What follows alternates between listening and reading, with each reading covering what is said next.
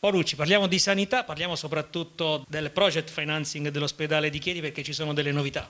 Sì, hanno sottratto 30 milioni per l'ospedale nuovo di Chieti, un atto illegittimo perché hanno tolto risorse certe e hanno messo risorse assolutamente incerte. È un atto al rischio di illegittimità, qualcuno come l'assessore Febo presente alla Giunta è scappato, ma soprattutto le motivazioni. Hanno dopo dieci anni per la prima volta prodotto un debito, 66 milioni, non coperto dalle risorse del bilancio della sanità della regione e quindi del fondo sanitario eh, regionale e pertanto per evitare l'aumento delle tasse hanno dovuto sottrarre a Chieti i 30 milioni in questo modo così illegittimo.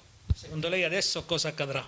Beh, intanto accade che Marsilio e il governo regionale sono smascherati, hanno dichiarato che i conti sono in ordine invece loro stessi firmano una delibera nella quale dichiarano e firmano esattamente il contrario. In secondo luogo si presenteranno al Ministero garantendo delle risorse che invece sono subiudice e in terzo luogo mettono a rischio chiaramente a Chieti eh, la somma di 30 milioni di euro. Ultimo hanno scritto nella delibera che l'Abruzzo, le imprese e i cittadini rischiano l'aumento delle tasse. È una vergogna. Nel momento in cui avviene tutto questo continuano però a fare a sfornare delibere in cui aumentano lo stipendio dei direttori, dei dirigenti e dei manager e fanno una norma che consente ad alcuni poteri forti, tra cui la sanità privata, di proporre transazioni per decine di milioni di euro. Questo è uno scandalo che noi non permetteremo mai facendo ricorso a tutti gli organi di garanzia.